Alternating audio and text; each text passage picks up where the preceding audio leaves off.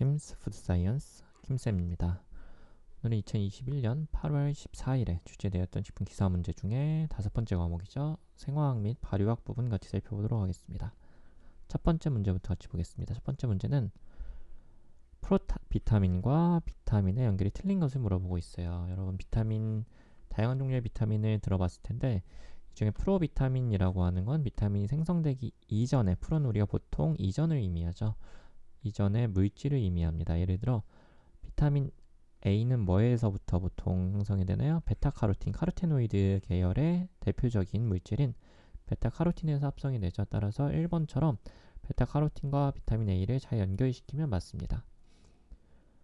나이아신도 마찬가지로 트리프판을 전구 물질로 해서 생성이 된다고 알려져 있고 비타민 D 중에 D2는 ergosterol로부터 만들어진다고 알려져 있습니다. 근데 3번에 이 biotin, 비오틴이 glucose로부터 포도당으로부터 만들어지면 좋겠지만 그렇진 않겠죠. 포도당으로부터 비오틴을 직접 형성하기는 어려울 겁니다. 따라 정답은 3번이 되겠습니다. 자, 이어지는 문제는 포도당의 해당 과정, 포도당을 분해하는 거죠. glycolysis 과정과 구연산회로 여러분이 TCA cycle로 잘 알고 있는 TCA cycle 통해서 이산화탄소로 완전히 분해될 때 구연산 회로를 진입하는 분자 형태를 물어보고 있습니다. 자, 어디서 시작을 하죠? glycolysis니까 glucose에서 시작을 하죠. glucose를 우리가 phosphate를 하나 붙여서 glucose 6 phosphate 형태로 만든 다음에 이거를 분해하고 분해하고 분해하는 형태로 마지막에 뭐가 돼요? pyruvate가 되죠. pyruvate가 되는 과정까지를 우리가 glycolysis 해당 과정이라고 불렀습니다. 따라서 여기 나와 있는 피루브산 pyruvate 같은 거죠. pyruvic acid가 바로 해당 과정의 마지막 물질이고요. 이게 나중에 어떻게 변환이 되나요? 이게 acetyl CoA가 되죠. acetyl CoA가 돼서 어디로 들어가요? TCA cycle로 들어가죠. 들어가서 여러 물질로 바뀌고 중간에 succinyl CoA로 바뀝니다. 따라서 진입하는 분자 형태는 3번에 나와 있는 acetyl CoA가 되겠습니다. 1번에 나와 있는 glucose 6 phosphate는 glucose가 해당 과정에서 바로 변환되는 물질이었죠. 6phosphate로 붙인 다음에 중간에 여러 단계를 거쳐서 pyruvate로 바뀌었습니다. 여러분이 이 모든 단계를 다 기억하기는 어렵겠지만 시작하는 물질, 끝나는 물질, TCA cycle도 마찬가지로 시작하는 물질, 끝나는 물질 정도는 잘 기억하시면 좋을 것 같습니다. 자, 이어지는 문제는 앞서 나왔던 베타카로틴과 같은 카로테노이드계 색소와 관련 있는 비타민 A의 결핍 증상을 물어보고 있습니다. 이 카로테노이드계 색소는 여러 야채, 채소에 많이 들어있다고 알려져 있는데 이 비타민 A가 부족하면 대표적으로 어떤 증상이 있죠? 야맹증이 있죠. 밤에 잘 볼 수가 없고요. 안구 건조가 생길 수 있고 성장 지연이 일어날 수 있습니다. 그런데 눈하고 관련되어 있긴 하지만 결막염은 왜 생겨요? 이건 세균 감염이나 또는 알러지 반응 때문에 생기죠. 따라서 결막염이 직접 비타민 A의 결핍 증상과 관련이 있다고 보기는 어렵겠습니다. 자, 이어지는 문제 같이 볼게요. 어떤 생명체의 전자 전달을 통해서 우리가 에너지를 생산하는데 이 전자 전달계의 순서를 물어보고 있습니다. 전자 전달계는 값이 작을수록 자, 값이 작은 거부터 골라볼게요. 가장 작은 거는 마이너스 0.55에 해당되는 DAN에 해당되겠네요. 그 다음에 값이 작은 건 뭐예요? 델타 예, C라고 있나요? 싸이라고 있나요? 요 단백질에 해당이 될 거고요. 그 다음에 작은 거는 Q가 되겠죠. Q 단백질. 그 다음에 작은 거는 어, 0.69인 Y, X 그리고 O2 순이 되겠습니다. 정답은 2번이 되겠습니다. 이어지는 문제는 어떤 DNA 사실 단편의 질소 염기별 농도가 A는 991개래요. G는 456개인데 G 플러스 C가 몇 개냐 물어보고 있습니다. 여러분 잘 아시겠지만 A는 뭐하고 연결돼요? T랑 상호적이죠. 즉 A가 991개라고 하는 건 T도 991개라는 걸 의미하고 G가 456개라는 건 C도 456개라는 걸 의미합니다. 더해도 되고요. 이걸 곱하기 1을 해도 되겠죠. 정답은 912개가 되겠습니다. 정답은 1번입니다. A랑 T는 숫자가 같고 G랑 C는 숫자가 같다라는 걸 기억하시면 되겠습니다. 자, 이어지는 문제는 화학 종속 영양균이래요. 이건 뭐예요? 어떤 탄소원을 다른 데서 받아야만 살 수 있는 균을 의미합니다. 이 균을 배양할 때 미생물의 생장 속도에 영향을 끼치는 인자가 아닌 걸 물어보고 있어요. 일반적인 미생물을 생각하면 되겠죠. 일반적인 미생물 탄소원이 필요할 때는 pH 영향을 미치겠죠. 산소의 유무 영향 미치고요. 접종균이 얼마나 많은지도 영향을 미치지만 빛은 이건 어디에서 영향을 미쳐요? autotroph 즉 아, 우리가 따로 탄소원이 CO2에 탄소원이 필요 없는 독립 영양균에서는 빛이 영향을 미치지만 빛이 화학 종속 영양균에서는 직접적으로 영향을 미친다라고 보기는 어렵겠습니다. 이건 autotroph 독립 영양균에 대한 내용이었습니다. 자, 이어지는 문제는 핵산을 우리 핵산은 뭐예요? A, G, T, C 이런 게 연결된 게 핵산, 핵산이죠. 핵산을 소화했을 때 설명으로 틀린 것을 물어보고 있습니다. 췌액 중에 nuclease에 의해서 분해돼서 mononucleotide가 생성됩니다. 즉 여기 하나씩 잘려서 하나의 단위체가 되고요. 맞는 설명. 위액 중에 DNase에 의해서 인산과 뉴클레오사이드로 분해되네요. 아니죠. 이것도 DNase도 exonuclease 중 하나이기 때문에 이렇게 단위체 AGTC가 이렇게 연결되어 있는 형태죠. 이걸 바깥쪽부터 잘라낸다. 인산과 뉴클레오사이드를 분해하는 건 아니고 바깥쪽부터 잘라낸다라고 생각하시면 되겠습니다. DNase는 exonuclease, 바깥쪽부터 잘라내는 exonuclease 중 하나다라고 이해하시면 되겠고요. nucleosidase라고 하는 건 글리코시드 결합을 가수분해합니다. 여러분 잘 아시겠지만 오탄당을 가지고 있고 여기 base와 인산기를 가지고 있죠. 이 당하고 base를 연결하는 게 글리코시드 결합인데 이걸 잘라주는 게 nucleosidase라고 하는 효소입니다. 그리고 RNA는 ribonuclease에 의해서 분해가 되겠죠. DNA는 deoxyribonuclease에 의해서 분해가 되고요. 맞는 설명입니다. 정답은 2번 DNase는 여기 인산하고 뉴클레 인산하고 뉴클레오사이드로 분해하는 건 아니었습니다. 자, 이어지는 문제는 탄화수소에서 균체 생산하고 관련이 없는 균주를 물어보고 있습니다. 요거는 어떤 것들이 있냐면 Candida 속이 보기로 나왔고요. 그리고 Pseudomonas, Torulopsis라고 하는 게 나왔는데 정답 4번에 나오는 클로렐라입니다. 많이 들어봤죠? 클로렐라. 클로렐라는 뭐예요? 녹조류죠. 녹조류이기 때문에 이거는 독립영양균입니다. 즉 어, 탄화수소 다른 데서 탄소를 필요로 하지 않고요. 뭐만 있으면 자라요? 독립영양균이기 때문에 빛과 CO2만 있으면 자랄 수 있습니다. 따라서 정답은 클로렐라가 되겠습니다. 자, 이어지는 문제도 클로렐라에 대한 설명입니다. 빛을 에너지원으로 쓰죠. 탄소원으로 CO2를 사용합니다. 빛하고 CO2만 있으면 자랄 수 있고요.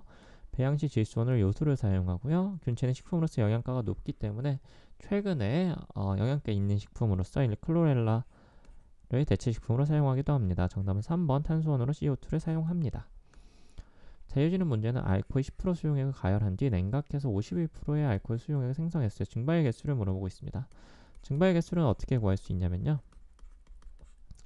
원액에서의 알코올 농도 분의 수용액에서의 알코올 농도로 구할 수 있습니다. 자, 그럼 구해볼까요? 원액에서 알코올 농도 몇 프로예요? 10%. 수용액에서 알코올 농도 몇 프로예요? 51%. 그럼 몇이 되겠어요? 10분의 51, 5.1이 되겠습니다. 어렵지 않게 풀 수 있는 문제였어요. 이어지는 문제는 구연산 발효에 대해 물어보고 있습니다. 구연산 citric acid입니다. citric acid는 주로 뭘로 만드나요? 아스파츰 라이거의 발효를 통해서 만들고요.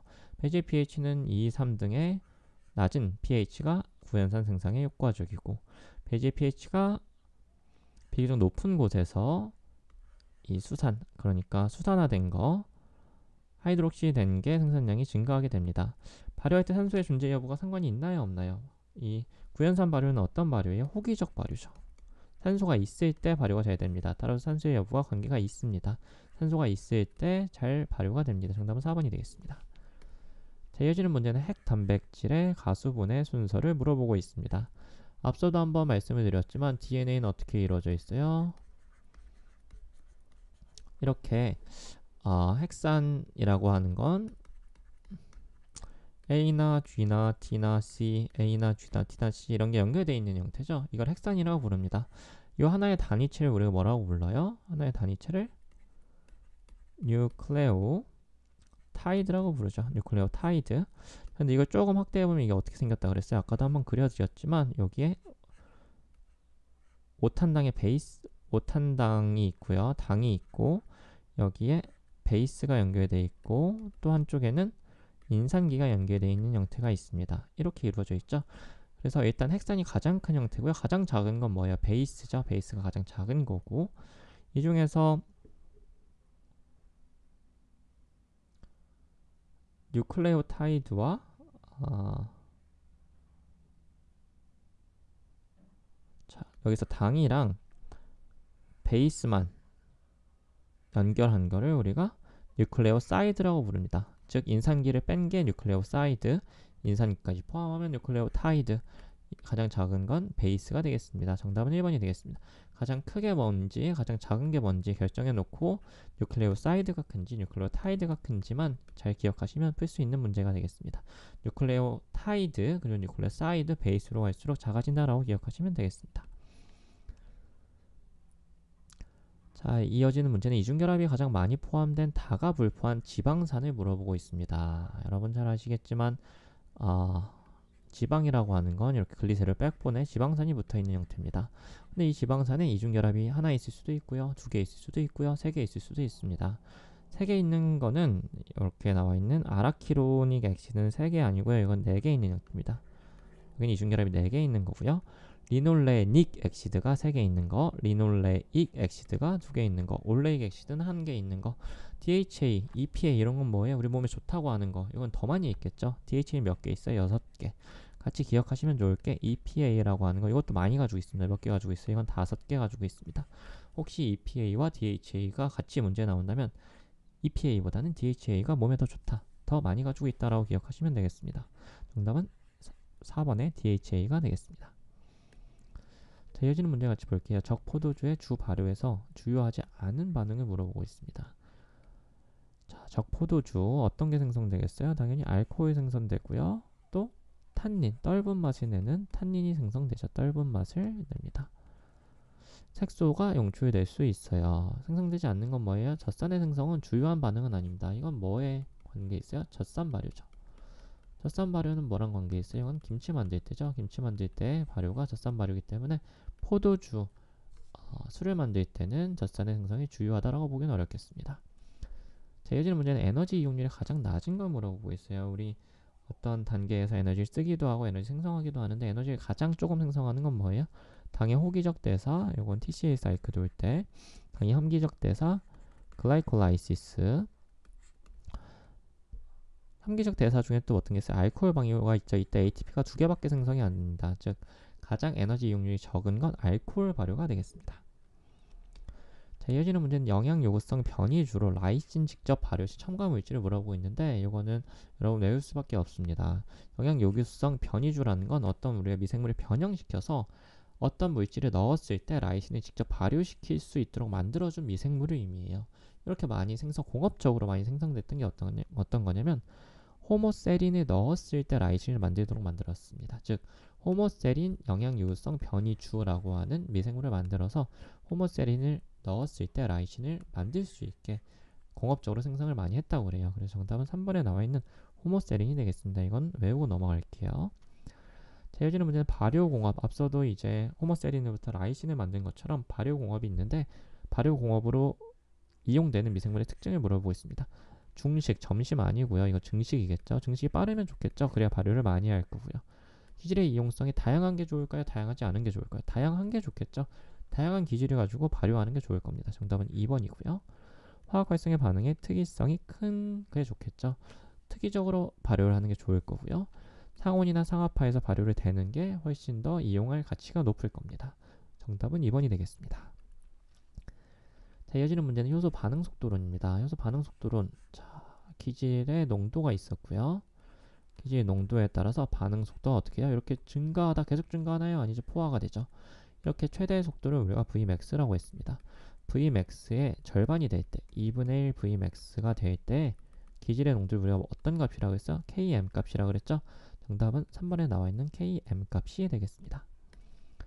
자, 이어지는 문제는 항체 아니겠죠? 황체 호르몬이겠죠? 황체 호르몬인 프로게스테론의 수산화, hydroxylation을 통해서 하이드록시 프로게스테론을 전환하는 데 이용되는 미생물 이건 외울 수밖에 없겠네요.